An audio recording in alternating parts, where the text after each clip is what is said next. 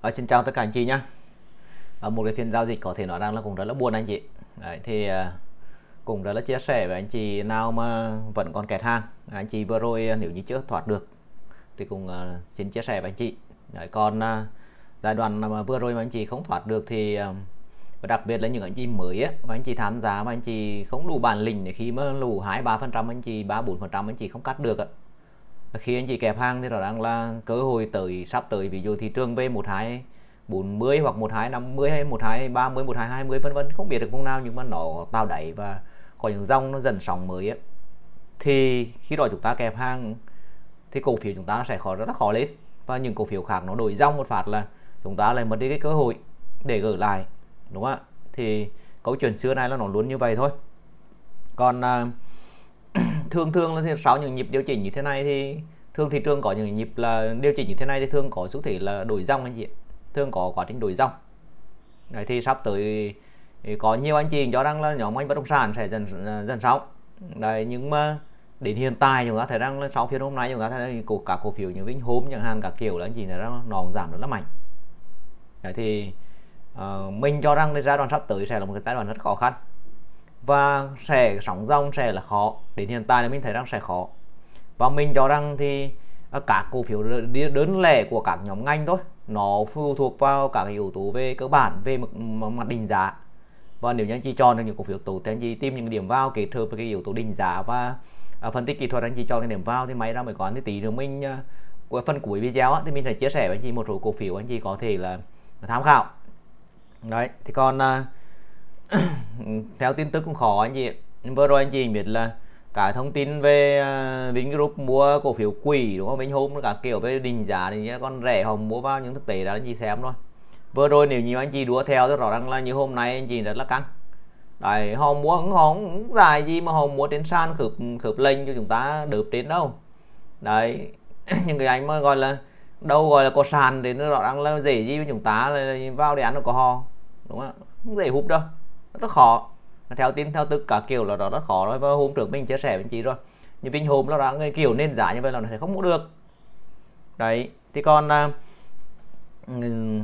ở phiên à, nay phiên hôm qua thì cùng thứ tư giữa tuần thì cùng thị trường không có gì đặc biệt nằm đó cái kế hoạch của mình cả. Do đó là à, về các bạn thì hôm qua mình không làm video nhưng phiên hôm qua phiên rút chân thì có lẽ rằng là cũng nhiều. Mình thấy rằng là cũng nhiều.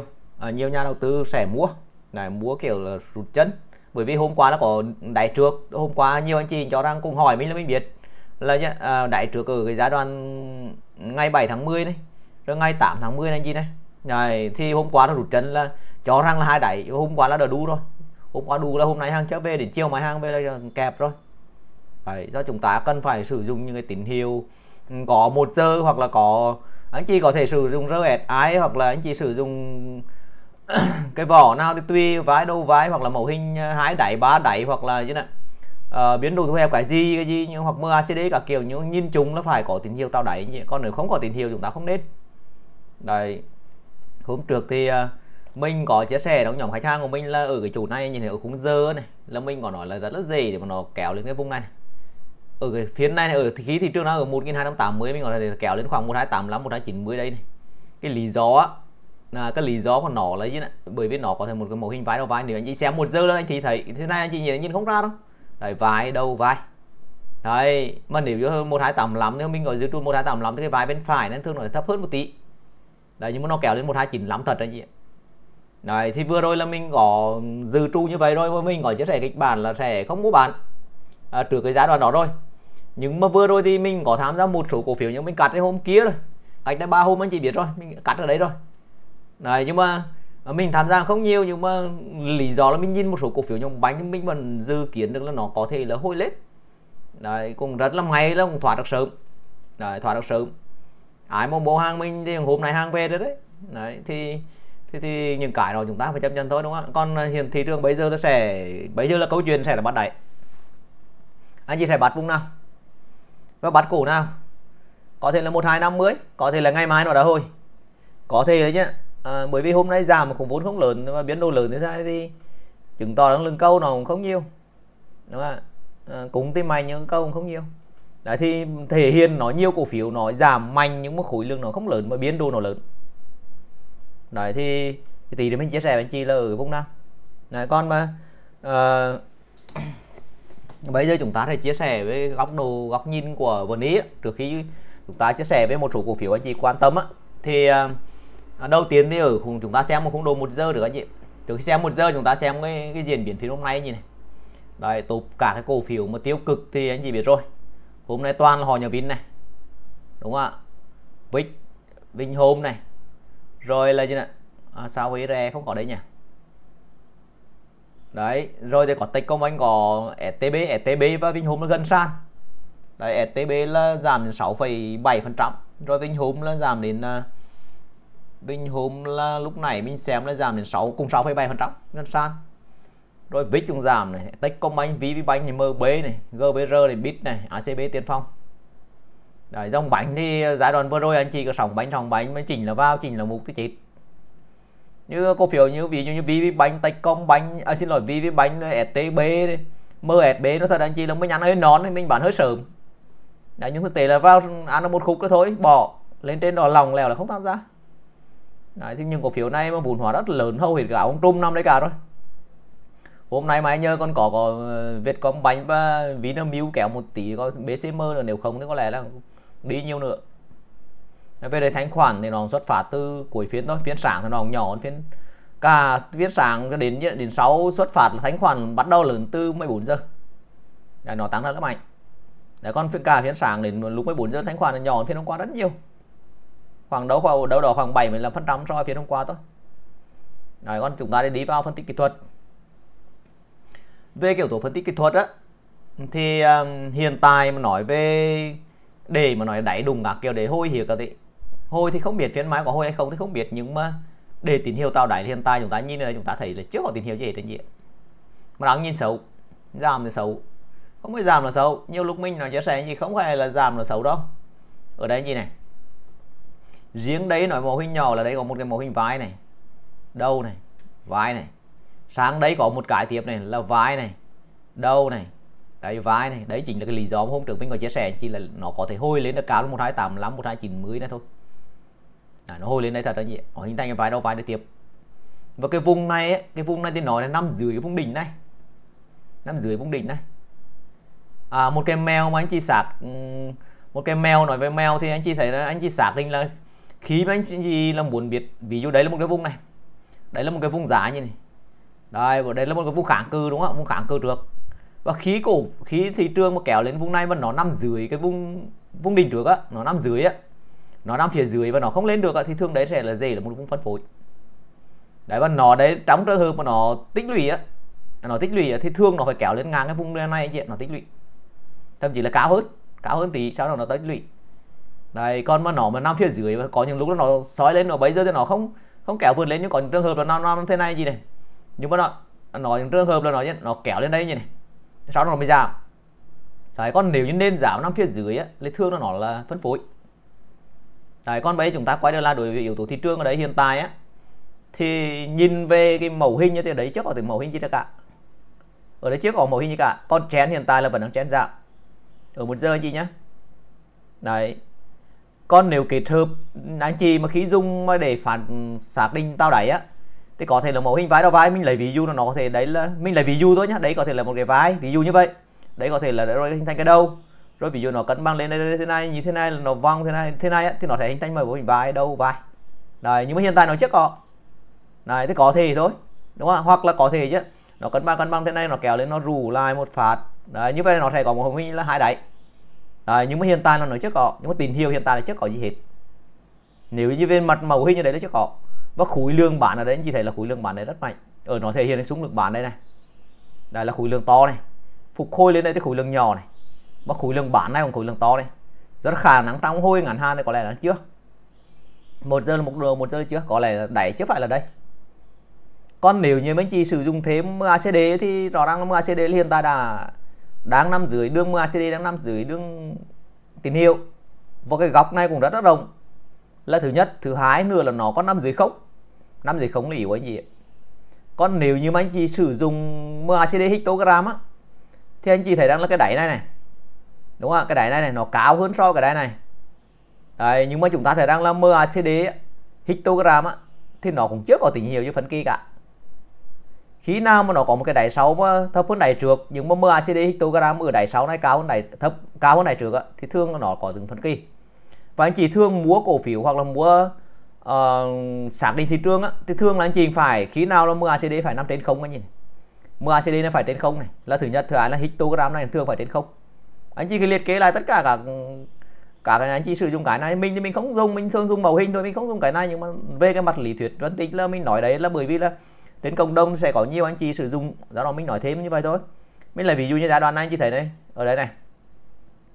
Đấy đáy này. Đáy này thấp hơn. Khúc này mình nhắn được. Đó, khúc này mình bắt đây là anh chị biết rồi. Khúc này mình nhắn được, nhưng vừa rồi khúc này mình trả lại. Đấy, nhưng mà anh chị thấy rằng là đấy là đáy 6 thì thấp hơn đáy trước. Nhưng mà MACD thì nó có sự phân kỳ. Rồi là anh chị kết hợp MACD histogram anh chị thấy cái đáy này nó cao, nhưng mà đáy này nó thấp hơn đáy này, nhưng mà mưa ACD histogram nó nó có sự phân kỳ và đặc biệt á, là giữa hai cái đáy của MACD này, này thì nó đã cắt qua không? Có MACD histogram phải cắt qua không? Thì xác suất cao vùng này sẽ là đáy.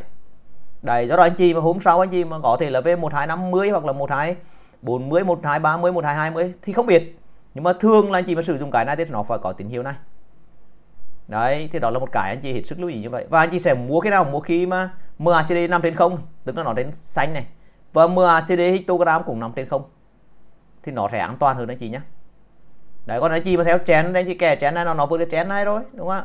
Đấy mình kẻ anh chuẩn lắm anh chị nhé đấy thì đó là về về những cái tín hiệu ở khung đồ nhỏ là chúng ta đang thấy trước có những tín hiệu chết còn chúng ta chuyển sang khung ngay. Khung ngay thì hôm trước mình có chia sẻ với anh chị là à, khung ngay thì mình có chia sẻ với anh chị là như nào? À, thực tế cái biến của nó là 126 mới 1300 tức là biến 40 điểm hôm nay thì à, à, cái chiến lược thương anh chị thương thì nó thủng 1280 là phải bán ít nhất là anh chị phải bán một phân ít nhất là phải vốn vay. Còn thủng 1270 thì về cơ bản là bán hết. Mình thì hiện tại trong danh mục mình vẫn có cổ phiếu nhưng mà chẳng bao nhiêu cả đó là con nhà vùng tàu HDC anh chị biết rồi mình vẫn chưa bán. Này hoa phạt thì mình bán hôm qua rồi còn mà nhà vùng tàu thì vẫn còn nhưng mà chẳng bao nhiêu cả tất nhiên nó đang xanh nhưng mà chẳng bao nhiêu. Đấy con hôm nay thì nó chính thức là một cái biến 1260 Mất cái biến 1260 và mất MA 50 à, mất MA 150 à, vậy thì bây giờ anh chị quan tâm là cái, tất nhiên cái khối lượng nó không lớn cổ phiếu hôm nay đúng không ạ. Nhưng mà anh chị quan tâm sẽ là vùng 1240 hay là 1250 hay là 1220 Đấy, thì hỗ trợ hiện tại của nó là ở 1240 này anh chị này. Hỗ trợ của nó 1240 vì sao? Vì sao anh chị thấy là 1240 không phải MA 200 cũng này đâu anh chị này. Có thể nó nhấn xuống. Đấy, nhưng mà chúng ta thấy rằng là bởi vì nó có đáy trước ở giai đoạn ngày 17 tháng 9 và 16 16 17 tháng 9 là có một cái vùng đáy này này là đáy trước này hỗ trợ sẽ là đáy trước sẽ là hỗ trợ sau. Thì về đấy á, nhiều khả năng 1240 này sẽ có có sự phản ứng. Và anh chị quan sát xem ở 1240 anh chị xem từ Đấy là những cái tín hiệu nhỏ như lúc này mình chia sẻ nó có đạt hay không và nó có tín hiệu tạo đáy hay không. Đấy là là đáy trước là một. Thứ hai nữa là sau khi thị trường ở cái nhịp giai đoạn mà từ tháng nhá tháng 7 11 tháng 7 cho đến giai đoạn mấy ạ? À, ngay 7 tháng 8 á là thị trường rơi thì nó đã có một quá trình phục hồi lên đây nhưng mà nó có một cái này mà anh chị thường hay xem nó cái 16 tháng 7 á. 16 tháng 8 á, là gọi là cái bùng nổ theo đa thì nó về đây thường là nó sẽ có những cái phản ứng.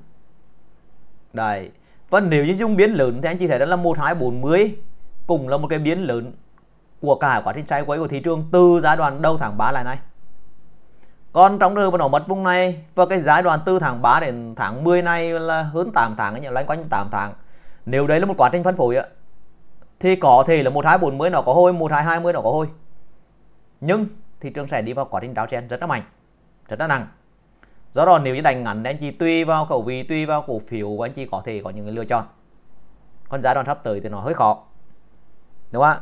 Đấy thì đó là về um, về về về về um, góc độ thị trường á ờ, ở khung độ ngay thì mình có những chia sẻ như vậy. Do chúng ta đừng có đoán nó về đâu. Vấn đề là chúng ta phải nhìn được cái tín hiệu. Và đặc biệt anh chị xem tức là cổ phiếu nào nó có thể à, lên được. Và thị trường có thể sái khuấy. Và dòng bánh có cân bằng lại được hay không? Còn dòng bánh hôm nay khá xấu. Khá xấu anh chị đặc biệt là những anh chị vừa rồi không mua sớm mà anh chị đủ sau này là rất là gì toán đúng không ạ?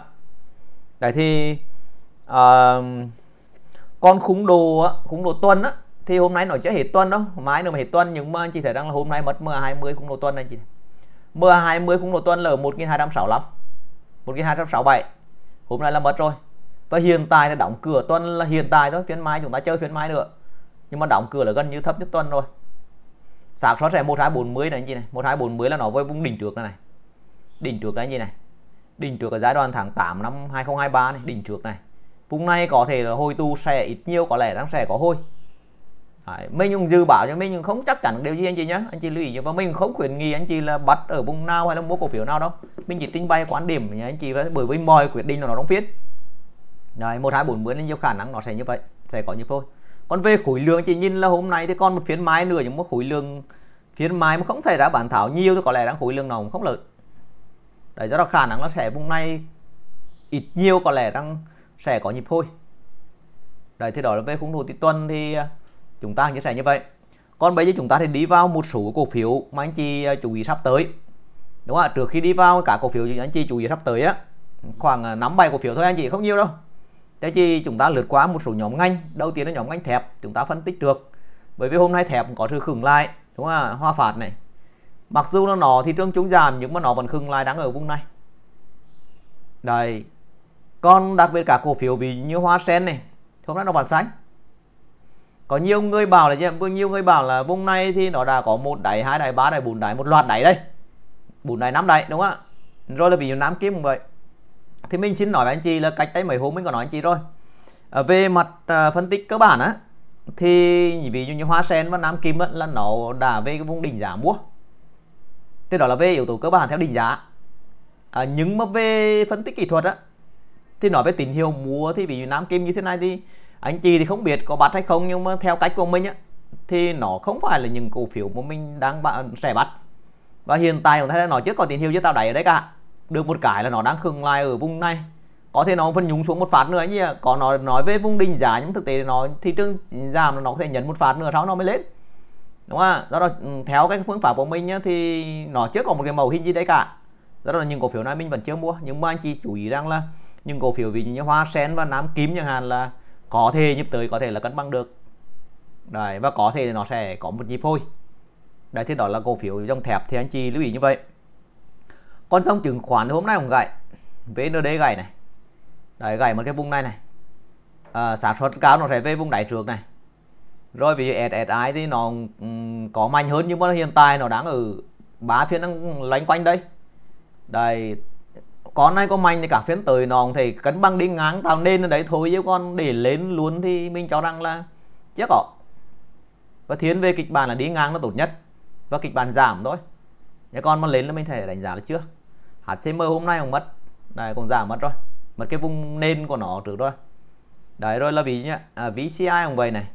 Rồi à, BVS rồi BSI này. Rồi CTS này. Rồi chứ nào MBS này. Rồi vì FTS thì vân vân nhìn chung nó đối với nhóm ngành bất động ở à, nhóm ngành chứng khoán hiện tại là chúng ta thấy rằng là để mà đánh đấm giai đoạn này là về cơ bản nó sẽ chết cọ Đấy, rồi tiếp theo nữa là nhóm mà cả cổ phiếu trụ á. Thì như VIX này không chỉ ăn của ông Vương đâu anh chị ạ. Đấy, kiểu nên giảm kiểu lòng lèo thế này là chứng tỏ nó đủ bản rất nhiều. Và khi cổ phiếu lòng lèo đủ bản rất nhiều nó thấy nó không lên. Còn này hôm qua nó kéo một số khách hàng của mình có nhắn tin hỏi có mua hay không mua hay không đấy có tin này tin kia cả kiểu rồi là nhìn vào à, cổ phiếu à, của họ nhà Vin à, niêm niêm yết bên mì bên nạt đạt đấy đúng không nhưng thực tế đó nó nên như thế này cách của mình là mình để không mua. Rồi Vinh hôm mà hôm nay nó giải kinh này. Có ai cái hôm nay mua theo không? Rồi VRE cũng vậy này thủng lên này. À, hôm nay có Vinamilk có kéo lên được. Rồi má sán là một cổ phiếu sắp tới anh chị chú ý được. Đấy, trong trường hợp nào trong trường hợp nó phải cân bằng ở đấy và nó sẽ hình thành một cái nền giá. Đấy nền giá kiểu như thế này gì này. Đấy, kiểu mà chứ nó có thể cân bằng nó giảm cái nó nó phải lên. Nó phải lên kiểu như thế này này nó phải như là hình thành cái biến đồ thu hẹp. Đấy và phía sau này nếu có nếu có thì khối lượng nó phải nhỏ xuống. Đấy khối lượng nó phải nhỏ xuống. Và cái những cái nền ở nam vùng này gì này là nó phải ngắn. Đấy và sau đó có một phiên test cung cho anh chị tham gia là sẽ ok. Còn như thế này là sẽ chưa được mua theo dõi được thôi. Cổ phiếu thứ hai trong nhóm này đó là con à, MWG cũng vậy. Đấy, con thấy anh chị mà thấy như thế này anh chị đủ là cũng rất là dễ hoàng bởi vì cùng có thể đấy là một cái mẫu hình vai này. Vai lên chị này đấy cả này là đâu này rồi đấy có thể là cái vai bên này. Nó có thể hôi lên một tí nữa anh chị hôi lên anh chị đủ lên anh chị thấy rất căng. Đấy anh chị theo dõi để xem thử nó có tái tích lũy phía sau này được hay không. Đấy thì đó là trong các cổ phiếu trong này thì mình chia sẻ như vậy. Còn một số cổ phiếu à, nhóm nhóm nhóm nhau bánh nhá nhóm nhóm bánh thì hôm nay cùng gậy đúng không ACB này. ACB thì mình là phân tích anh chị rồi giai đoạn đầu nó thể như thế này. Đấy nó đáng cái kiểu như thế này như này đáng cái kiểu như thế này, này. tức là nó sẽ hình thành cái nền giá sideways thôi. Nó bon này có giảm sâu không khó. Anh chị biết rồi về mặt định giá năm 2025 cả kiểu đấy. Thì anh chị biết rồi nhưng mà xác suất đó để mà lên cũng khó. Nhưng mà nó có thể sai quay vùng này nhưng mà trong trường hợp bây giờ kết quả kinh doanh của năm sau mà kém á thì đấy có thể là một cái mô hình vai này đấy cái này là mình nói hơi sớm mà như cả cái này có thể là một cái đâu này. Và nó thể sai quay bên này theo xu hướng giảm thao hình thành một cái phái bên phải bên này. Đấy đó là rất cẩn thận. Biết trùng giảm này. CTG rụt chân nhưng mà rụt chân kiểu này anh chị đừng có đu. Nên đến kiểu lỏng lẻo thế này mà. Khi mà nó lên giả dai theo hướng lên anh chị này và nó rù xuống nó kéo lên nhanh nhất thì đó mới gọi là gãy nên rù con bọn này là khó. Đấy rồi ờ, à, MB cũng vậy hôm nay cũng gãy. Rồi MSB cũng gãy đấy MSB là một cái nền này rồi hôm nay lỏng MSB này mới nhắn hơi sớm. Nhưng mà cái giai đoạn múa phải là hôm nay như này con múa không được đấy nó đừng đủ đến này. Đấy mới nhắn con này hơi sớm nhưng mà lên đây nó sẽ không không đủ đâu. Nếu đánh ngắn thì mình chia sẻ gì đó nhưng cái vùng này thì thường đánh ngắn nó phải bán bởi vì sao? Bị lỏng lèo. Và áp lực bán phía trên con xuống nó rất là mạnh. Đấy, tổng quán chung với các dòng thì mình xin chia sẻ quá như vậy. Có nhóm phân bón hóa chất có một số anh chị hay hỏi. Đàm phú mì cũng chưa chơi được này. Rồi đàm cầm máu cũng vậy đấy gc cũng vậy đấy còn một số cổ phiếu mà lúc này mình chia sẻ với chị những cổ phiếu hiện tại mà mình thấy nên nó ổn đó vậy chị thà chú ý được sắp tới. Chị xem nếu thị trường cân bằng, bọn này xem như thế nào này? SZC là một anh chị này. Lên này, test lại này, cân bằng đang ở vùng biên trên này. Đấy, chưa mua nhá, nhưng mà anh chị theo dõi được này. Rồi HDC con này mình vẫn đang cầm này, nhưng mà nếu nó rủ về xuống mà nó khối lượng nhỏ á, và có phiên test cung giống như lúc này mình phân tích Masan á, là anh chị có thể để ý được này. Đấy, rồi con nhá đây này. Đây công ty uh, đầu tư phát triển nhà và đô thị Nam Hà Nội này này con này này anh chị thì chú ý được này. Đấy rồi là vì con đất xanh này đất xanh thì nó phải nó phải tích lũy phía sau. Còn không tích lũy phía sau á thì đấy cũng dễ dễ là hình thành một cái hình vai đầu và vai. Đấy lưu ý nhá vai đầu vai. Cho đó nó phải tải tích lũy phía sau và khối lượng phải nhỏ xuống và phải chặt xẻ phía sau. Dạ, Giả chân anh chị tham gia. Còn tiếp theo Mathan lúc này nói rồi MW nói rồi còn tiếp theo Nam Long còn Nam Long á nếu phiên mai nó giảm nhưng nó vẫn giữ cái đáy này. Đấy và phiên kia phiên kia phiên sáng tuần mà nó bứt lên á là anh chỉ tham gia. Trần cũng đủ cũng được bởi vì con này mà về mặt đỉnh giá nó vẫn còn ok. Đấy, cái kiểu như thế này như này kiểu cách thức như giống như giai đoạn này. Nó kéo lên nó rủ lại này rủ lại đi ngang này. Đấy, sau đó nó sạc nhau nó phát là anh chỉ đủ cái này cũng được. Đấy rồi kiểu giống như giai đoạn này cũng vậy này đấy chị này nó lên là nó rủ rủ rủ ra nhưng nó cân bằng nó sạc cho anh chị đủ cái xác nhân đấy con này khó khó, khó là chơi không gì đâu. Đây đó là con à, uh, nhà Nam Long này. Rồi phạt đạt này kiểu như vậy. Phạt đạt hôm trước mình vẽ sẵn cho anh chị rồi tức là nó phải hình thành một cái mẫu hình vải đầu vải cho tham gia được còn nếu không thôi. Đấy, hiện tại thì anh chị theo dõi hiện tại theo cách của mình thì mình chưa chưa mua. Rồi có BR này. Này BR giống như kiểu này này. Rù này lên nó phải cân bằng phía trên. Nó có lên cái nó nhưng mà nó phải cân bằng phía trên đây là chúng ta đủ được. Còn một như thế này là chúng ta chắc có yếu tố gì cả? Chứ còn một cái mẫu hình gì hết. Hôm qua khối lượng nhỏ, hôm nay khối lượng nhỏ, đó là những gì hiệu tốt? Nhưng mà tốt nó không phải đủ được nó phải đạt những điều kiện của chúng ta. Đúng không ạ? Rồi còn CTD là anh chị này CTD như vậy này? Vừa rồi nó đấy là một cái mẫu hình vái đầu vai này. Đây nó bứt lên cái vùng nến. Hôm nay thị trường xấu nhưng mà nó giảm xuống, nó giảm thế này không nhiều, khối lượng cũng không lớn lắm. Đấy, sau đó nó cân bằng lên những cổ phiếu này sắp tới anh chị có thể quan sát được thì anh chị mà quan tâm những cổ phiếu nào anh chị thấy theo dõi anh chị thấy cổ phiếu nào đẹp mà mình chưa đưa ra đấy á thì ờ, rất mong anh chị để lại bình luận phía dưới chúng ta cùng trao đổi. Và anh chị mà muốn trao đổi với những cổ phiếu nào anh chị hoặc là hỏi về vấn đề gì thì anh chị để lại bình luận phía dưới. Anh chị theo dõi kênh và anh chị ờ, hãy tỏ ra là một người hào phóng anh chị nhớ cho mình xin một like nhé à, xin chào và hẹn anh chị trong video lần sau.